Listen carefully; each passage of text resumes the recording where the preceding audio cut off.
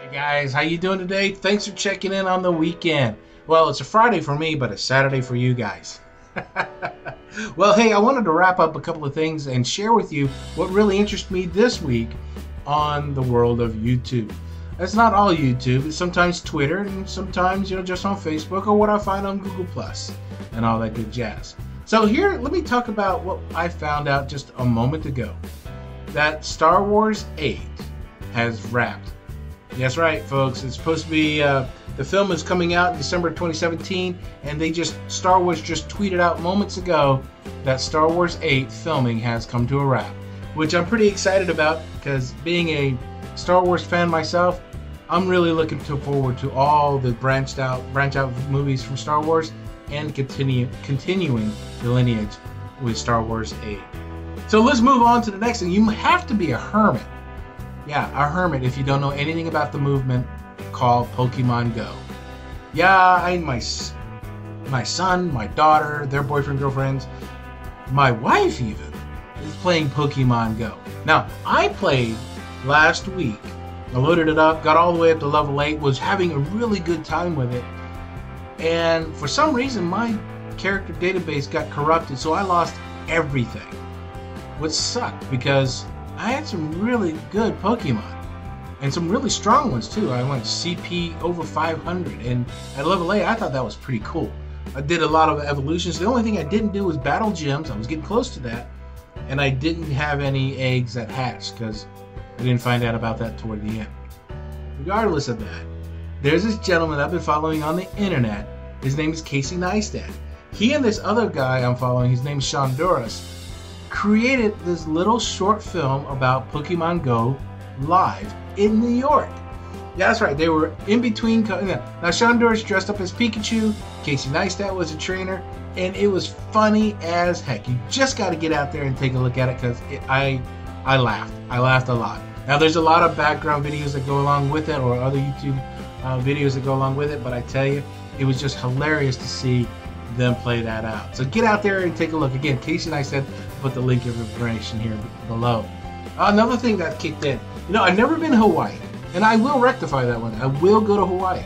But what I found out, there's this couple, uh, Austin and Haleigh. Austin and Haleigh.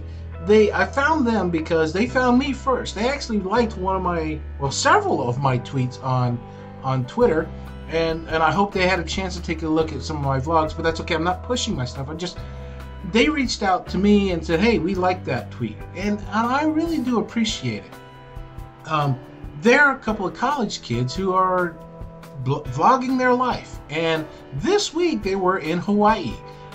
That's why I mentioned what they, they are there. I wish I would have done that when I was in college, going to Hawaii. And if you want to look at it from their point of view, get on out there and check out their website. Again, it's Austin Haleigh. Again, the link is should be there clear in front of you. But I I really enjoy it because they got good music that follows on their stuff. I need to start mixing up my music.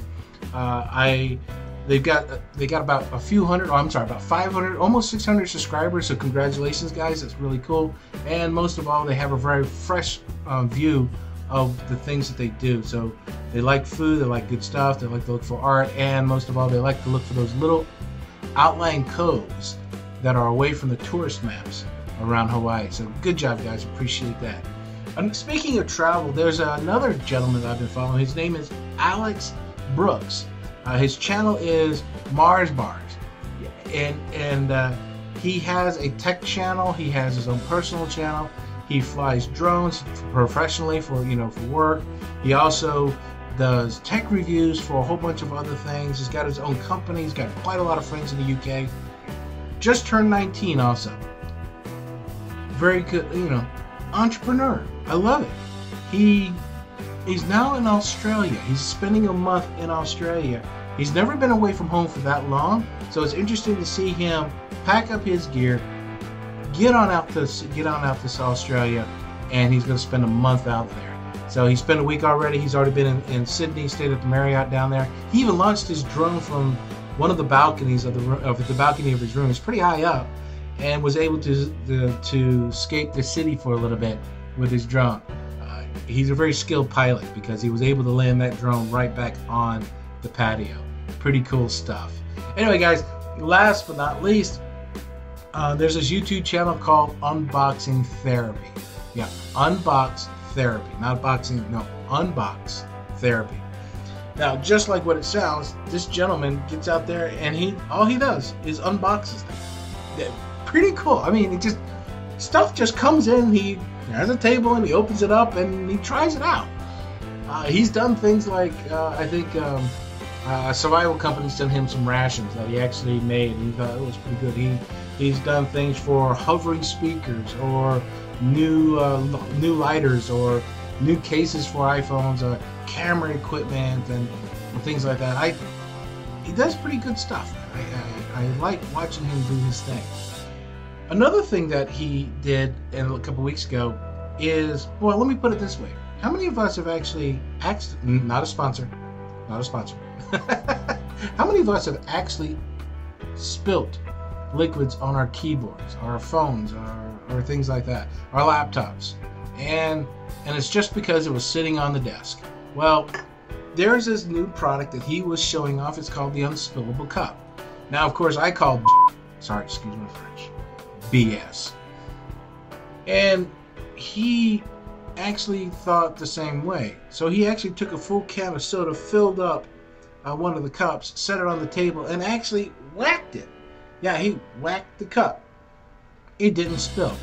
So my next question was, ah, how is it lifting up? Because you know, if it's going to hold to the table and you try to lift it up, obviously you might spill that way. Nope. The moment he lifted up the cup, it came off the table just like if it wasn't stuck to the table. I was pretty intrigued with it, so I'm definitely going to be looking into that. But I thought it was hilarious how he handled it because you, you see the apprehension he had because he's got tech gear all over the place. And you can imagine if he had to hit a cup to spill. You can imagine the cables and wires that are running up because he's running a professional uh, production company there. You can imagine the stuff that's on the floor that he would actually have to clean up. But uh, no, didn't spill. So I encourage you guys to get out there and take a look at it. I think it's a couple weeks ago. I'll put the link in below. But good stuff, man. Anyway, so those are some of my entertainment items I had from YouTube or Twitter this week. Thought I'd share that with you. I'm gonna keep it small on Saturdays and Sundays, and and uh, put some hopefully put some great content for you through Monday through Friday. But Saturday and Sunday is just really a hey, how's it going? Here's what I see. Uh, here's what I think. I might think Inspirational Sunday might be a good thing because remember that I talked about five things that should make you happy. So I should give you a report on that on Sunday and maybe just have a weekly review of that with you if you want to join me with that. So speaking of that, get out there and hit that like button if you like what you're seeing, and you know, oh, go ahead, hit the subscribe button, please. Show me your support. Yeah, you know what? I'm always looking for new friends to join me on this journey. So until we talk again, we'll see you tomorrow. Peace.